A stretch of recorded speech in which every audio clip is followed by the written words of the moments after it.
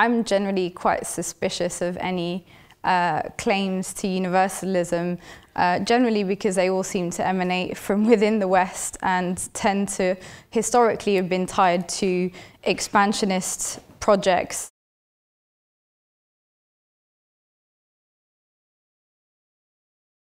We don't want equality with unequal men, and we can't have equality in an unequal world. A world where wealth flows upstream, a world of gross and growing inequality that has brought us to the brink of a planet crisis.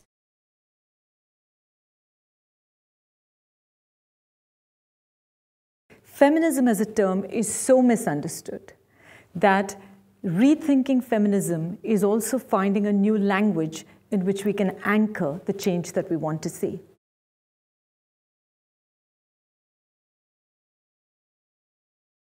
When you travel in Turkey, all across the Middle East, you will notice that streets belong to men, public squares belong to men, particularly after certain hours, cities belong to men. So there is a backlash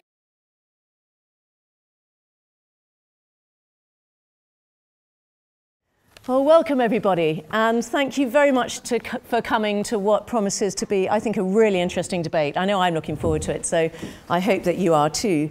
Uh, this debate is part of a series in association with Unilever, which is trying to explore feminism and gender from cross-cultural perspectives. We've had a lot of debates on feminism in Britain, in, in the US, in the West, uh, and I think it's actually very interesting to try to make it a bit more international. Uh, Unilever have very kindly sponsored not just this debate, but also three more at the How the Light Gets In festival in May. And first of all, I'm going to introduce all our panelists, and then I'll tell you what the debate is going to be about. First of all, we have Myriam Francois on my far right, stage uh, left, uh, who's a political commentator, theorist, and broadcaster with a focus on France. Uh, I know French female political journalists, my sort of job, um, rose up as one quite recently to complain about how sexist um, the politicians were, so I'm sure you've had a lot to do there. She writes for uh, The New Statesman, The Guardian, and The Huffington Post, and is also doing a DPhil in Middle Eastern Studies at Oxford, where she's researching Islamic political movements in Morocco. Uh, Elif Shafak is an award-winning novelist from Turkey, She's been published in more than 40 countries. She's been awarded a Chevalier of the Order of Arts and Letters. Um, and she's also been an outspoken defender of women's rights, minority rights, and freedom of expression. Uh, Finn Mackay is an activist and academic described by The Guardian as a world-changing woman for her political work defending women's rights. She's the... It's nothing, is it? Forget the world. It's the Milky Way, the galaxy. Absolutely, yeah, yeah. um, she's the founder of the London Feminist Network and a regular public commentator on feminist issues, particularly male violence towards women, and is also senior lecturer in sociology at UE, University of the West of England in Bristol. And Leena Nair uh, is Chief Human Resources Officer at Unilever, which is actually a hell of achievement because she is the first woman ever to hold that post in Unilever's several hundred year history and is on the executive board. Uh, and before that, she had a wide range of management jobs in India and South Asia and spearheaded the Career by Choice program, which was helping women rejoin the workforce after a career break. So pretty diverse panel. And we're going to be, we, we're going to be talking about whether feminism fights for equality for everyone Who's doing the fighting? Who are they defending? And is it right for women in the West to fight for equality for women in the developing world, or should they be fighting for it for themselves? Um, from the right to wear headscarves to the refusal of contraception, ideas of what is fair and what is equal vary dramatically across the world. So does feminism lack a universal goal? And if it does, is that because it's an impossible dream? And is there anything wrong with white Western liberal feminists, which I suppose I would describe myself as, fighting for the rights of women from different cultures? Should we recognise that feminism means different things in different places, or should we all be fighting for the same thing? So the format is going to be that each of our speakers is going to do a three-minute pitch on should feminism pursue a universal goal, and can there be one? And then we're going to start discussing amongst ourselves. So first of all, Myriam.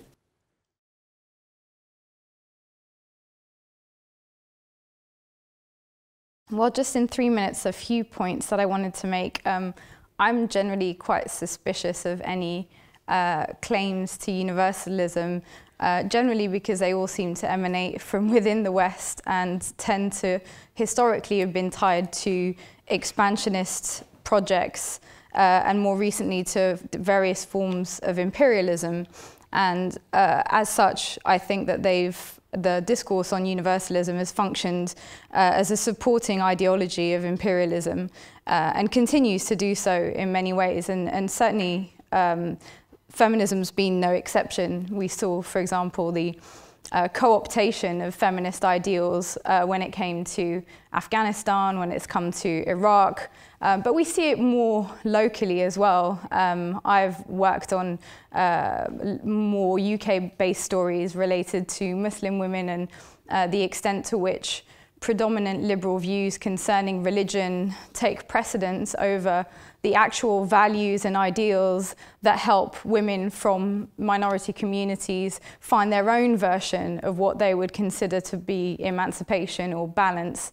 Um, and therefore, uh, I think to a large extent, what parades as universalism uh, masquerades as a form of um, cultural imperialism um, and ultimately functions as a means of perpetuating cultural hierarchies, the notion that we in the West are purveyors of a superior way of looking at the world and that we need to um, uh, help others benefit from that. And if they don't want our help, then we'll militarily assist them uh, in seeing what's best for them. Um, I'm also suspicious of discourses about uh, universalism within feminism without a broader discussion about inequality more broadly. So um, to paraphrase uh, Bell Hooks, how, how do we talk about men and women being equal when all men with a capital M aren't equal? Um, uh, clearly there are uh, social and economic uh, hierarchies still governing our global system uh, and it seems a little bizarre to me to talk about equality between women uh, in Dhaka and women in London uh, when the economic differences between people in London and people in Dhaka are so extreme.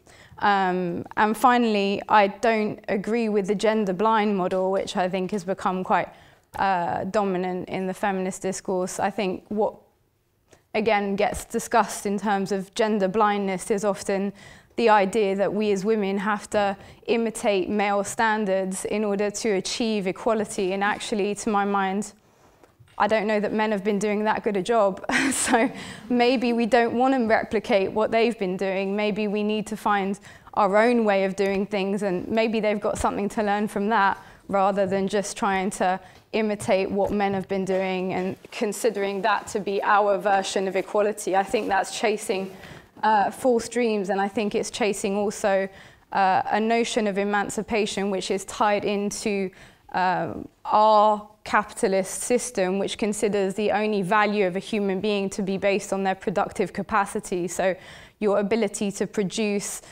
X amount of money is what your value as a human is worth. And maybe we as women who actually, you know, produce real life human people and I think much more valuable things than just money um, could, could offer alternative views on uh, what is valuable, what we should consider to be um, yeah, valuable within society more broadly.